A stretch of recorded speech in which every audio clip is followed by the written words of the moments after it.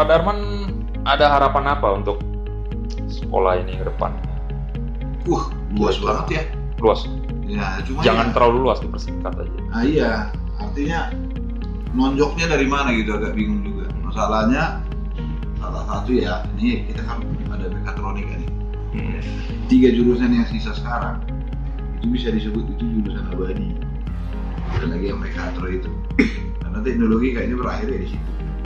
Gabungan dari dari empat jurusan itu disatuin.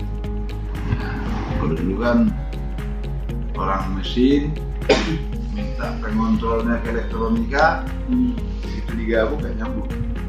Karena si mesin dibuat begini si elektronikanya buat begini. Nah kalau mekatronika itu semua orang yang sama. Orang yang sama. Jadi kalau saya lihat perkembangannya di Jakarta itu kan baru tiga ya Sekarang judul bisa dulu dibuat. empat tahun. empat tahun Jadi sejak kelas satu tahu anaknya. sebenarnya sama dengan biasa ya tapi eh, empat pertama materinya gede sekali besar banget materinya apa ini materi mekatronika yang kedua bahwa mereka diwajibkan di industri menerapkan pengetahuannya nah ini ini jadi tantangan bagi kita ini kalau mereka nanti masuk kelas 4 kita harus cari industri sebenarnya ini ikuti modelnya EKD Jerman.